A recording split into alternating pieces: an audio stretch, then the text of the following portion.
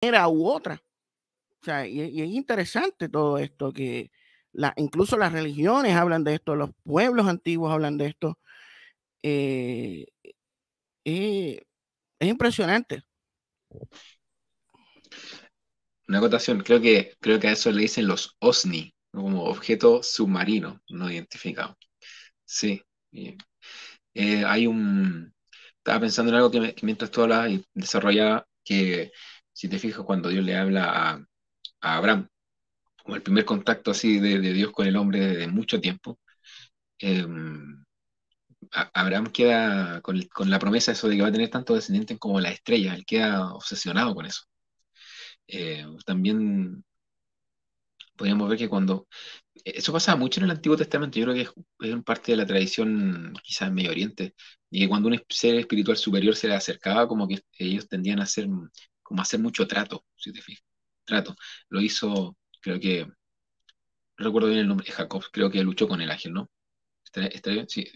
No recuerdo bien el nombre porque hace tiempo que no leo tanto el Antiguo Testamento, eh, especialmente en Génesis. Pero Génesis, bueno, Génesis habla mucho de, de, mm, de todo esto de una forma muy resumida. Es como que en, tres, seis, en seis capítulos ya tienes todo el diluvio, después la Torre de Babel y pasa todo y como que, y como que ahí todos se quedaron callados y nadie sabe nada. O sea, Enoch se fue, construyeron una torre, confundieron la lengua, que hablaba Dios en plural, que había un diluvio, que habían gigantes que eran como antropófagos, no sé qué, y de repente como que nadie se hace esa cuestión de ¿por qué nosotros tenemos que olvidar de eso? ¿Por qué nosotros tenemos que pasar de largo con eso? ¿por qué no podríamos investigar qué, estaba pasando, qué onda con, e, ese tipo de, cosas en el pasado? ¿Y por qué vemos también algunos de esos patrones en el resto del mundo? Con todos eso, esos misterios, todas esas ideas que, que, surgen y también las historias locales. Mm. Eh, tú mismo hablas también de mitología, volviendo al, tema de que es como en, América Latina, obviamente. Nosotros hablamos por, el, por Chile en ese sentido, pero hay muchas leyendas en, en, toda, en toda Latinoamérica respecto a, mm también a encuentros de, humanos con seres espirituales. Lo, lo mencionamos, creo que el, trauco, ¿no? El mm. trauco es eh, este duendecillo que embaraza a la mujer eh, con la mirada. Eh, hay una hay otra leyenda que se llama el imbunche, que creo que son criaturas que un, que un brujo usa y quedan retorcidas y se mueven así como, como sobre, tres, sobre tres extremidades, la práctica, tienen una pierna puesta atrás. Hay una sirena que, el tuetué también el tuetué, que supuestamente es como un, se dice que es como una especie de brujo que se transforma en una en un, ave, ¿cierto? Y después vuelve a ser de nuevo un brujo.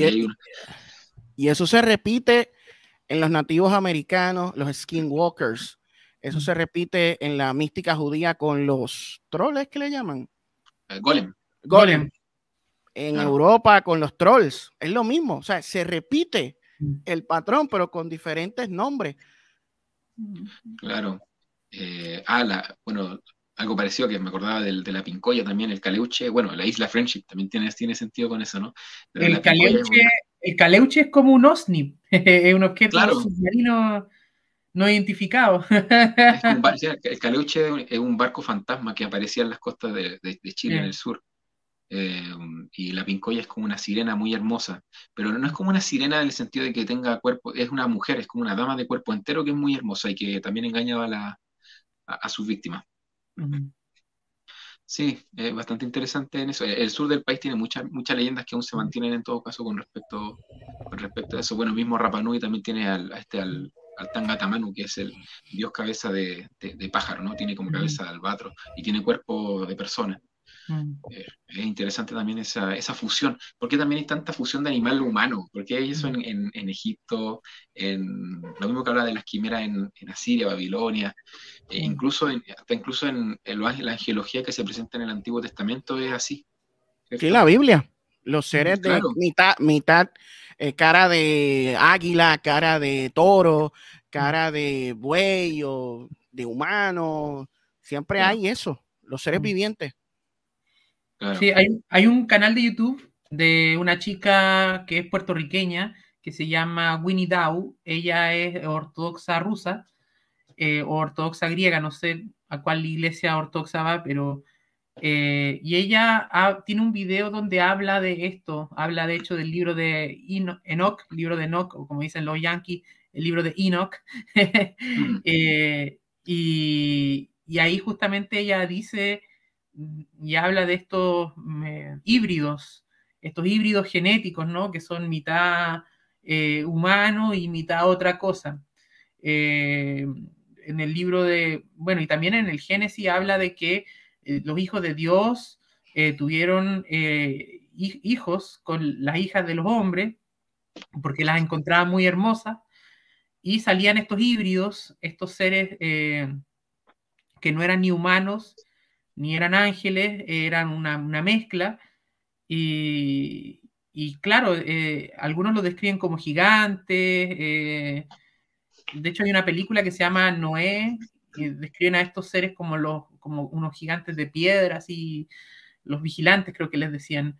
Eh, y em, también, si uno, sin ir muy lejos, en la mitología cristiana también, eh, en, el arte cristiano hay, por ejemplo, algunos iconos eh, bizantinos donde muestran a San Cristóbal, que supuestamente San Cristóbal lo muestran de dos formas. Uno es como un gigante, porque se cuenta que era un, hombre grande que podía y que él había cargado a, Jesús cuando era un niño, lo había cargado a través del océano porque era tan alto que podía caminar, digamos, sin, sin caerse al agua, ¿no?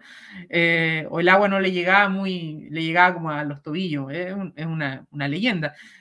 Eh, y la otra eh, representación de San Cristóbal es con una cabeza de perro, o sea, cuerpo humano y cuerpo humano y cabeza de perro, como parecido como al dios Anubis, a estos dios con cara de chacal. Entonces, uno ve estas imágenes y dice, esto tiene aspecto de ingeniería genética. claro,